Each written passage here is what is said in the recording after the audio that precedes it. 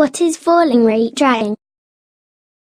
It's a stage, during drying of a wetted material, when critical moisture content has been reached.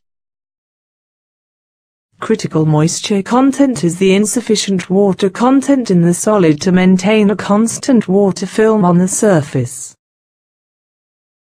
The drying is then followed by the evaporation of water from the surface of the solid, and also from within the pores of solid until equilibrium moisture content has been reached. Drying curve at constant drying conditions. Note that during the falling rate period, drying rate drops instead of staying constant as in the constant rate period. The falling rate period can be divided into two phases.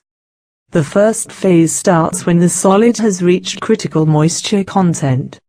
Water on the surface evaporates until the surface is completely dry.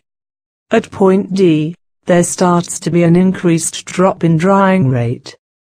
During this second phase, moisture diffusion inside the solid becomes rate controlling. Water which is trapped in the internal pores draws heat from material itself and the surrounding air.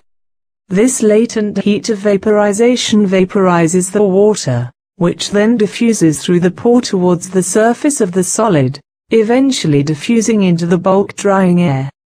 This evaporation continues until the water content of the solid is in equilibrium with the surrounding drying air, termed as equilibrium moisture content. Drying rate is now zero.